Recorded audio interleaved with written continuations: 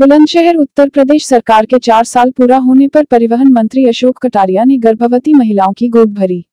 गोद भराई की रस्म में परिवहन मंत्री ने गर्भवती महिलाओं को भेंट की फल दाल चना, गुड़ की टोकरी।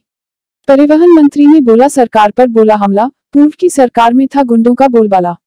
अब आम आदमी सिर उठाकर और गुंडे मवाले सिर झुकाकर चलते हैं। बुलंदशहर के नुमाइश पंडाल हाल में चल रहा है कार्यक्रम।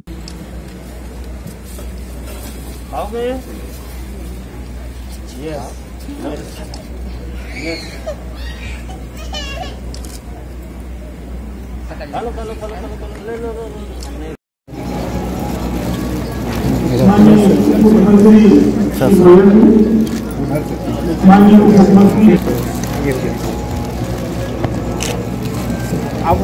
ले मैं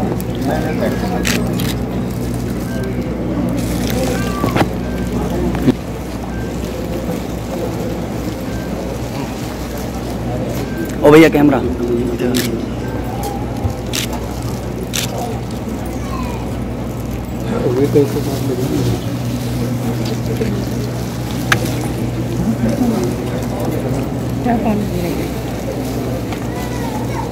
साथियों, यह बहुत ही शुभ कार्य हमारे जनपद के प्रभारी मंत्री जी बिल्कुल